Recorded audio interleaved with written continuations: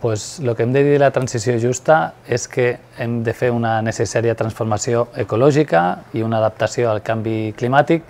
i aquesta transformació necessàriament no ha de deixar ningú enrere, sobretot ni als territoris ni a les persones.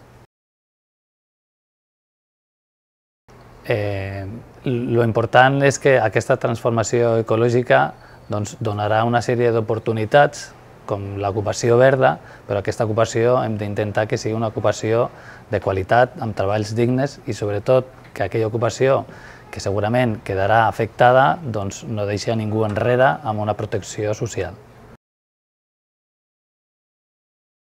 Eh, circular el que busca és aquella economia basada en intentar doncs, eh, reduir al màxim els residus. El que es busca és la màxima utilitat de tots els eh, materials, de tots els productes i de les fonts d'energia. Hem d'intentar doncs, que, eh, aprofitant aquesta transició ecològica i aquesta transició justa, doncs, tot aquest eh, sistema que estarà engegat amb l'economia circular doncs, també aposti per aquells treballs i aquesta eh, protecció de, de la societat.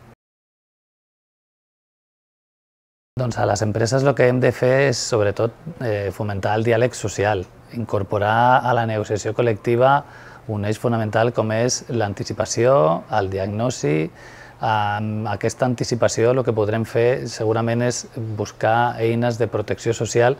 doncs, per a aquelles persones que es veuran afectades amb la seva ocupació, però també hem d'intentar que aquella nova ocupació que es generi sigui de qualitat i en bones condicions.